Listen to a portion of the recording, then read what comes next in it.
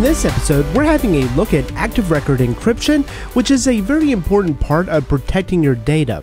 And this differs from hashing that you might see with Devise or other authentication methods, where your password is hashed to the database, but it's no longer reversible to come out with the original password.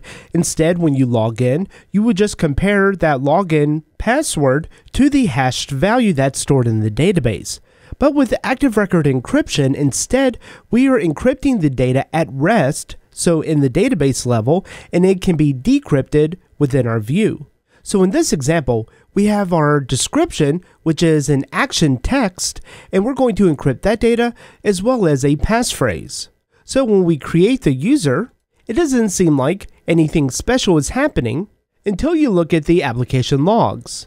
So if we scroll up a bit, we can see where this user has been created, and then we can see that the passphrase, instead of having the original data as taco soup, it is encrypted.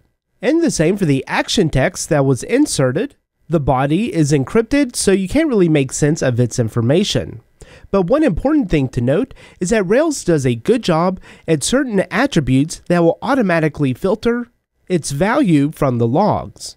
So you can see with the passphrase, I did not do in this example application anything different for the passphrase, but the description you'll see that it comes over as plain text, and that would be a security concern if this attribute needed to be protected.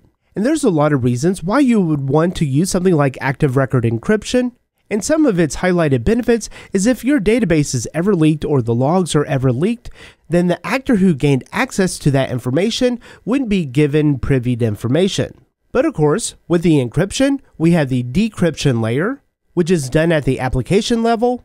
And as we use this application, we're able to then see it in plain text. And did you know that you can go to railsstore.com to get your own Ruby on Rails t-shirt or your Drifting Ruby t-shirt? To watch this full episode and more videos, visit driftingruby.com and subscribe to the Pro membership.